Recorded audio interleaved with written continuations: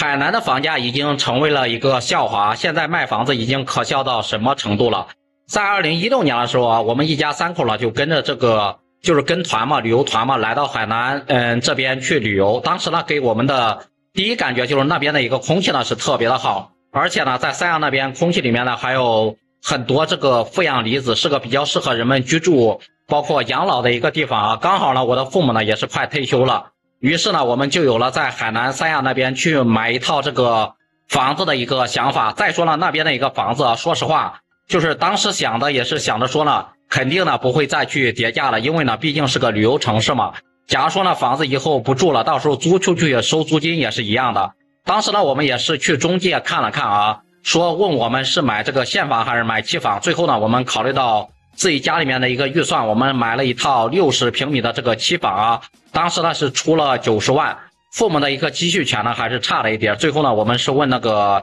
亲朋好友借了几十万啊，就是全款呢是买了这套房子，等过两年了交房之后呢，刚好父母也是退休了，可以呢到那边去养老，但是万万没有想到啊，这个计划呢永远是赶不上这个变，就是去年的时候呢，我弟弟呢跟就是儿媳妇呢闹这个离婚嘛，老两口呢。要赶紧回来帮我弟弟带孩子，原因就是受到现在一个大环境的影响嘛。我弟弟的压力非常大，然后再加上公司效益又不好，于是呢就在互联网上寻找一种减压的一个方式啊。短短几个月的时间呢，把一家人呢几十万的一个积蓄呢全部都亏空了，还欠了这个上百万的一个负债啊。后面就是他老婆知道之后呢，二话不说就直接回了一个娘家，连这个小孩呢也是没有带走的。再过了几天呢，法院的这个传票就传过来了。迫不得已呢，他们俩最终还是离婚了啊。父母呢，当时呢在海南听到这个消息之后，真的是如晴天霹雳，然后呢也是快马加鞭的就回到老家，全家人呢也都是跑去劝我这个弟媳妇嘛，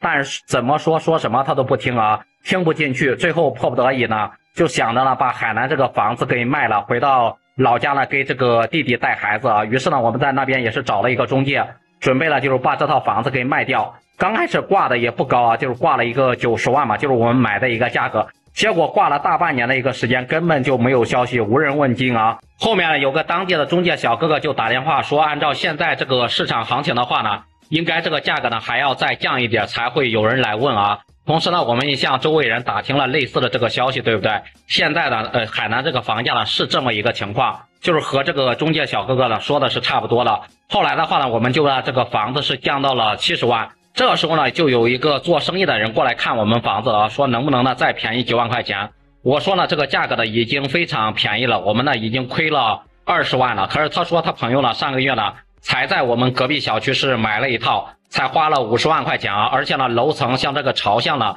比我们这个呢还是要好一些的。最后呢他还反倒过来说让我们回去考虑考虑啊。结果呢就是最后听这个中介也说嘛，最近这一片的一个房价呢。几乎呢都是这个价格，能卖了就赶紧卖吧。如果说卖不掉的话，等过几个月，可能呢还会再继续往下跌。然后呢，我们家这个房子呢，就是最后呢也是以五十万的一个价格成交了啊。大家呢说一说，我们这个房子卖的到底亏不亏呢？也欢迎在评论区里面留言讨论。